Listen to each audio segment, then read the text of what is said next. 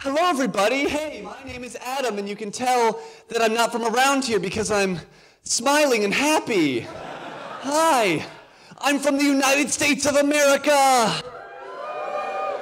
Remember? We invaded Iraq together?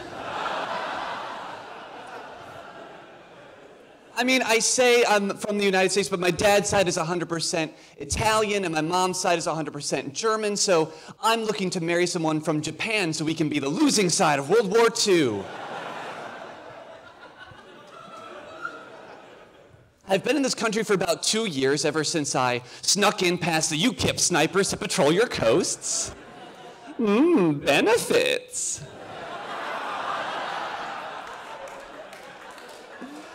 And things here are so different, right? What you call chips, we call fries.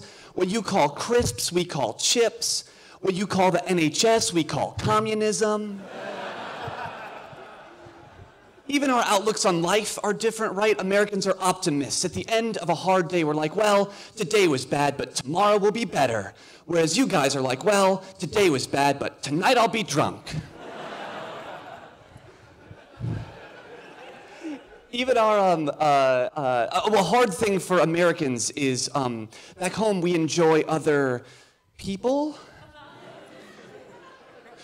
Whereas here, if a stranger starts talking to you, you're like, oh, I do hope I'm being mugged. At least then it will be over soon. Our sense of history is quite different too. I find a lot of people here don't know about the War of 1812, right? When marauding English soldiers set fire to the White House and immediately a storm appeared and rained down water and put out all the flames. And if you can hear that story and you still don't believe that God's on America's side, you might just realize that storms happen from time to time. Of course, we can't be too upset that you set the White House on fire, right? Because if Trump is elected, we need you to do it again.